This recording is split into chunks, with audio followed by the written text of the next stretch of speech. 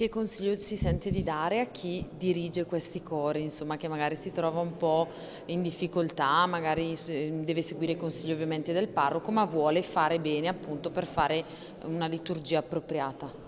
Beh, io penso che eh, se mette in pratica tutto quello che si è detto stasera, quindi se si guarda a ciò che il messale eh, richiede, a ciò che eh, la liturgia stessa insegna, un punto in comune lo si può trovare. Penso che mh, la pazienza e la capacità di ascolto reciproco ovviamente da parte del direttore ma anche da parte del parroco sia, eh, sia fondamentale e eh, non mai eh, assolutizzare la propria posizione perché di assoluto c'è solo uno, il Padre Eterno anche perché chiudiamo appunto ricordando che poi bisogna cantare in funzione poi di quello che è il messaggio e della fede che ogni cantore deve avere dentro di sé. Chiaramente, il cantore e il coro quindi si fa portavoce eh, di tutta la Chiesa eh, e della fede di tutta la Chiesa, quindi occorre davvero superare i propri eh, limitati orizzonti ed entrare in un alveo molto più più ampio e per questo più produttivo, più producente. Marco Guerinoni, uno dei fautori di questa serata, proprio per cominciare a festeggiare il 25 della Corale San Martino. Come è andata prima di tutto e eh, quali sono le conclusioni che si sono tirate tra coristi, direttori e parroci?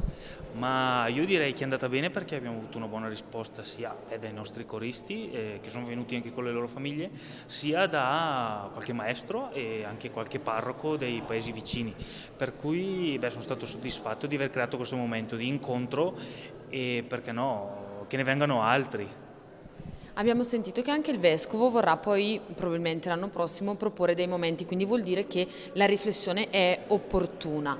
Eh, come ti senti di dare dei consigli a chi insomma come te si occupa un po' della coralità nella liturgia?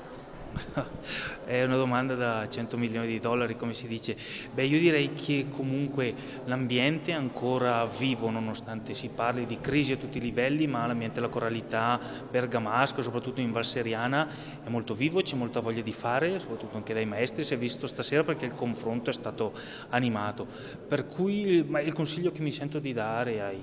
diciamo, chiamiamoli colleghi, è quello di mantenere l'ambiente vivo. Eh, creiamo occasioni di incontro tra di noi, tra i nostri coristi, perché alla fine comunque nascono anche delle belle amicizie e, ed è bello che si vada avanti con questo spirito. Ricordiamo il prossimo appuntamento per il 25 proprio ospiti diciamo così, del, della Curia, insomma, dove sarà presente la Corale San Martino. Sì, è la domenica quinta di Pasqua, il 28 aprile alle 10.30 siamo nella nostra cattedrale di Sant'Alessandro in Città Alta e animeremo la messa delle 10.30, per cui eh, siamo emozionati e speriamo di fare un buon servizio e, in modo che di proseguire poi il nostro, con il nostro spirito di ministero liturgico. Insomma.